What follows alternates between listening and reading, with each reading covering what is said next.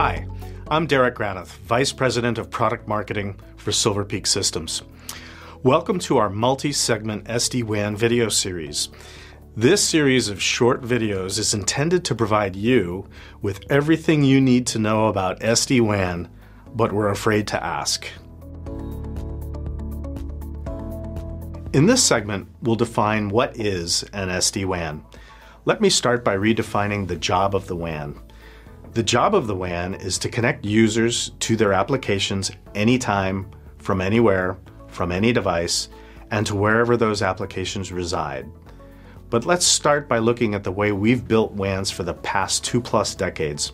Branch offices, where more than 80% of business transactions are handled, were connected to a headquarters based data center by a router over a leased line connection, usually MPLS. And that model was fine back then because all applications were hosted in enterprise data centers. Traffic was routed from sources to destinations based on TCP IP addresses, access control list tables, and complex routing protocols. All of the control functions were distributed across all of the routers. But traffic patterns have changed with the introduction of applications moving to the cloud. These could be enterprise apps that are now hosted in Amazon Web Services or Microsoft Azure or Google Cloud, or software as a service apps like Salesforce.com, Workday, Office 365, Box, Dropbox, and even Facebook and more. Sending cloud traffic that is destined for the internet back to headquarters simply doesn't make sense. It adds delay that degrades application performance, and it consumes costly lease line bandwidth. Why not use the internet to reach apps that are hosted in the internet? This has driven the need for a more intelligent, software driven, or software defined model for the wide area network, an SD WAN.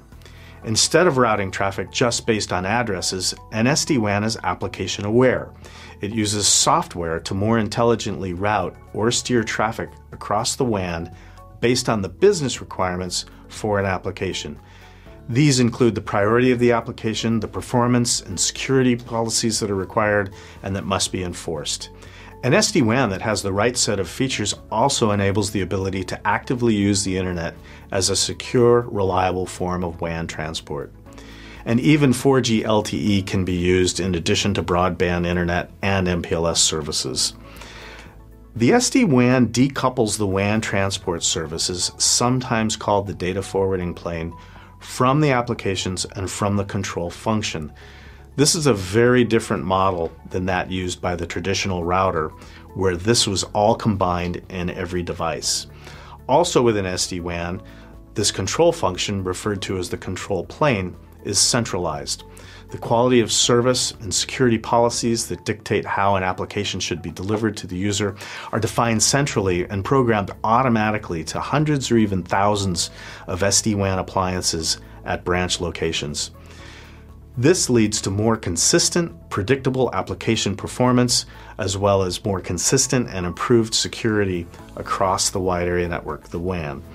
And with a software model, adding locations, adding applications, changing policies, and much more is so much easier than with the old router centric model. In summary, an SD WAN is a more intelligent, cloud first way to build a WAN. It improves business productivity, end user quality of experience, and accelerates business initiatives, and has the potential to lower costs.